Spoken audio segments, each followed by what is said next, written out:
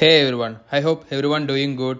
In this video, we are going to brief you about various presidents of India and important facts. 16th President Draupadi Murmu Ramnath Kovind मैं भारत की जनता की सेवा कल्याण में निरत रहूंगा President is the first citizenship and supreme commander for three armed forces Army, Navy, and Air Force. The president's salary is 5 lakh per month and pension is 1.5 lakh per month.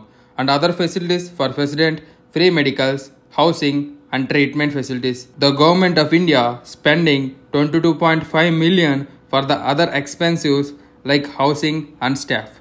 The, the security for president is PBG, which means President Bodyguard.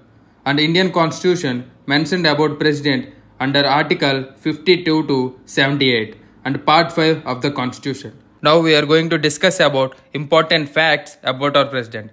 Fact number 1.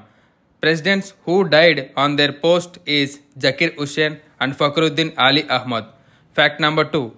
Only president elected unopposed is Neelam Sanjeev Reddy. Fact number 3. President who served as Speaker of Lok Sabha before becoming president is Neelam Sanjeev Reddy. Fact number 4. Only president who elected twice is Dr. Rajendra Prasad.